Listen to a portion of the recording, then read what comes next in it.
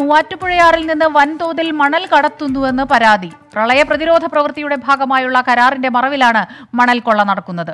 പിറവം നരസഭാ പരിധിയിലെ എട്ട് കിലോമീറ്റർ ദൂരത്തിലാണ് മൂവാറ്റുപുഴയാറിൽ നിന്ന് മണൽ കടത്തുന്നത്.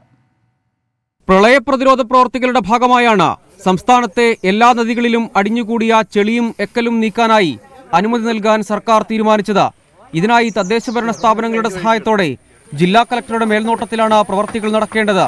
എന്നാൽ പുഴയുടെ ആഴം പുനഃസ്ഥാപിക്കുന്നതിന്റെ മറവിൽ വമ്പൻ മണൽക്കടത്തിനാണ് അവസരമൊരുങ്ങിയത്.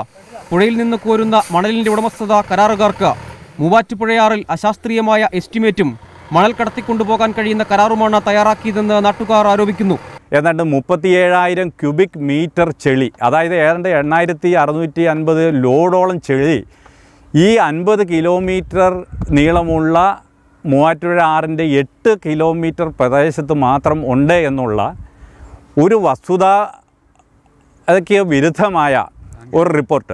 ഒരു യാതൊരുവിധ സാങ്കേതിക ശാസ്ത്രീയമായ അടിത്തറയുമില്ലാതെ ഒരു പഠനം നടത്തിയിട്ട് ഉദ്യോഗസ്ഥന്മാരെ കൊണ്ട് ഒരു റിപ്പോർട്ട് സമർപ്പിച്ച് സർക്കാരിലേക്ക് വെക്കുകയും അങ്ങനെ അനുവാദം വാ- വാങ്ങിക്കുകയാണ് ഉണ്ടായിട്ടുള്ളത്. എട്ട് കിലോമീറ്റർ പരിധിയിൽ മുപ്പത്തിയേഴായിരം ക്യൂബിക് മീറ്റർ ചെളിയും എക്കലും നീക്കാനാണ് കരാർ.